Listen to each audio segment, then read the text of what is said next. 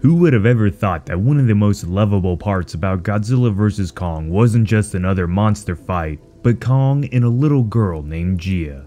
The giant ape and the small Iwi girl were easily the best dynamic duo in the film, and when they were both together on screen, they really did steal the show. But what if I told you that how these two unlikely friends met was not a story for the faint-hearted?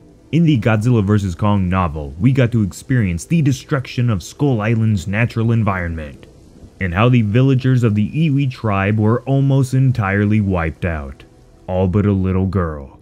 In this video, I'm going to read that segment from the novel so you get to know all the juicy information and heartbreaking visuals that the words place into your mind. Jia needed to be saved. Her village and family are gone, as Skull Island fell apart around her due to the storms around the island growing more powerful and more massive, the only thing that could save her was Kong. Let's get to it.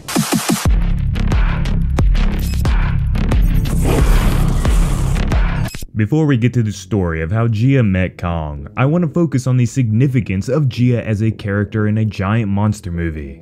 How many times have you remembered a human character in a monster movie really getting that much attention in a good way from moviegoers and fans? There have been a select few human characters to reach this level of attention in a monster flick, but it really doesn't happen very often in the grand scheme of things. Jia though, she can certainly be put into number one for child characters to ever be in a monster movie as far as I'm concerned. The actress's performance was spot on and felt so natural, especially considering she is really deaf, which certainly helped her acting on screen come across as real. And it wasn't just her handicap that made her stand out. She was brave, humble, witty, mature for her age. She has seen real bad things happen in her short life, so it has hardened her into being a person well above her years. This horrible experience she had will be told to you now. Perhaps because the Iwi tradition was so ancient, they were slow to react. Many of her kin were already gone, buried beneath a mudslide. The village of her birth was now sunken beneath roiling waters. The ancient wall that kept out the predators was filled with debris and became a dam holding the waters in as they had once kept the enemies out. And now she and a handful of her kin were fleeing towards the high grounds of Hanging Fish Calls, there, where some said the caves could offer them shelter, shallow as they were, with no deep trails to the below, the land and its dangerous inhabitants. Now the water was to her knees, and she did not yet see the skyward yearning earth that led up to the high country. They were still among the ferns and rushes and make-a-fist trees that formed intertwined thickets too dense to travel through. She felt her own heart beating quick like a bee. She felt the pulse of Sister Mother's fear in her fingers and she felt something else in the water. She stopped, squeezing Sister Mother's hand, then pointing behind them where a cluster of trees and bushes drifted in the rising waters. Koro lifted his spear and Hio too, but they might as well have been wielding twigs. The huge jaws opened, filled with teeth.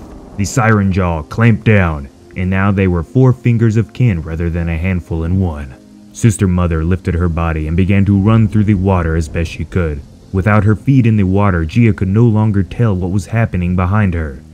She tried to look over Sister Mother's shoulder, but the rain was now so hard it felt like a shower of stones, and it was cold. Jia began to shiver.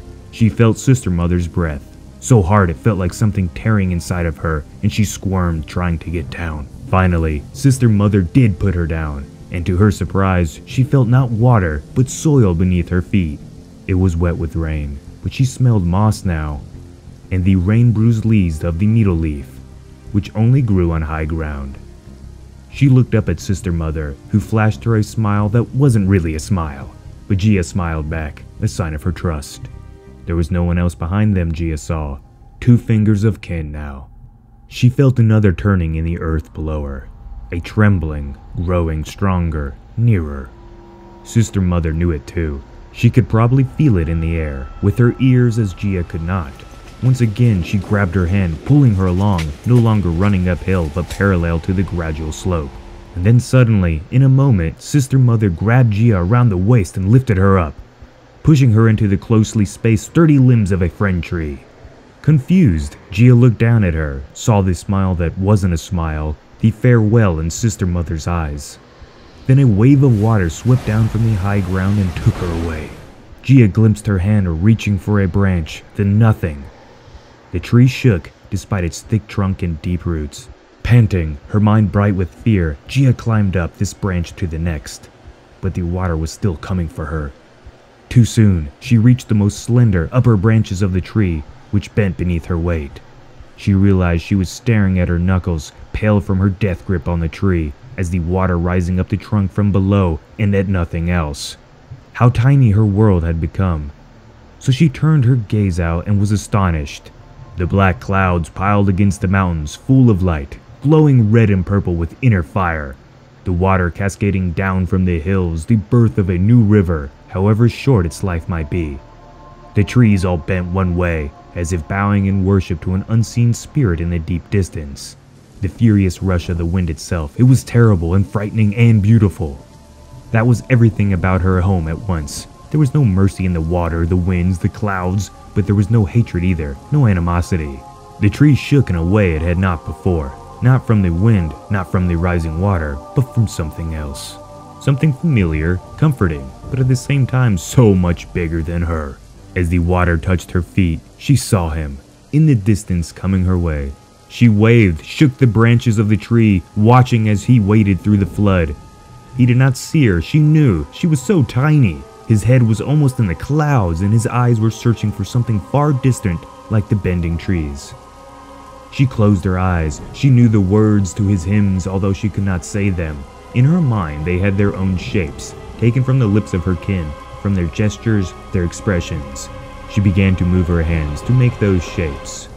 Though you pass me by, O Kong, we are kin. Though you are great and I am small, we are one. Remember me, if only as a leaf fluttering in the wind. Then she felt a warm wind on her face and opened her eyes. He was there, his face filling her entire universe, his eyes almost as big as her, full of concern. Below her, his hand rose up until it was level with her, within her reach. He waited. It was her choice. And it was no choice at all. Her most ancient kinsman, her god, had come for her. What could she do but accept? She climbed into the huge cup of his hand. He closed it partway, shutting out the worst of the wind and the rain.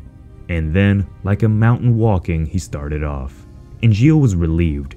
She was sad, and she knew everything about her world was changed and would never be the same again. Damn. Okay, everyone, let's recap some of the big things here. Obvious being Skull Island's destruction. Remember how Ghidorah created the massive storms all across the planet? Well, for a time it seemed like nothing happened over Skull Island, but the truth came out that Monster Zero's storms combined with the natural storms around the island and made them much worse. The storms eventually consumed the island when mankind allowed Camazotz to be set free, using his dark powers to lure the storm in and around the island, covering it with a never-ending darkness. The Skull Island storms never end. Skull Island was flooded and all or most life on the island perished, including the Iwi people. Jia's sister mother, which really means that it could be either her sister or her mother or maybe even someone entirely different. Apparently in the Iwi culture, everyone is a mother due to them all taking care of one another like a mother would. Regardless, this family member's death was extreme to say the least. Sacrificing herself to save Jia. All with no words and barely any emotions, just a smile that wasn't a smile. The Iwi really are a fascinating fictional people and I'd like to learn more about them. I wonder why Kong came to save Jia. Was he really able to understand her prayer that she did? I don't think he has any sort of mind powers, but something there does seem kind of odd. The island was falling apart everywhere, but he chose to save a tiny human girl. No one really knows why, but it was the start to this fantastic relationship between a girl and a king. Her stating that he was old kin of sorts to her also gives more clues that the Iwi originated out of the Hollow Earth just like the Kongs almost like they evolved and grew as civilizations together as one. Thank you all for your time. If you think I earned it, stomp the subscribe button and share this video around with your monster loving friends. This has been Jacob. I will see you in the next one.